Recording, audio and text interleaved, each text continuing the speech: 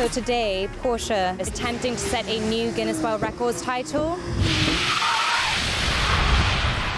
for the longest vehicle drift in an electric car.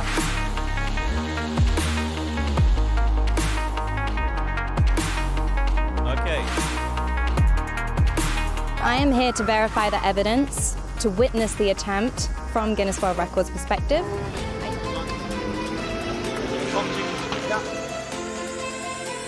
Nice.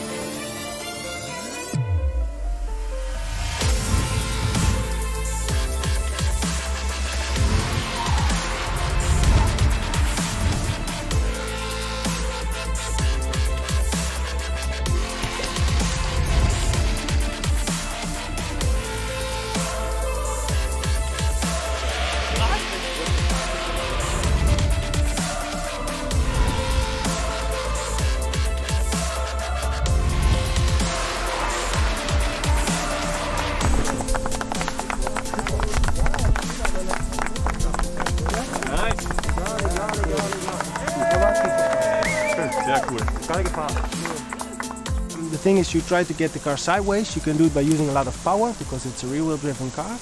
Um, but we try to be as efficient as possible. So I'm using really the load change first to the front, turn in, use a bit of power to get it sideways and then be really efficient. Even if I had a big angle, I just lifted off the power bit and the car just saved me.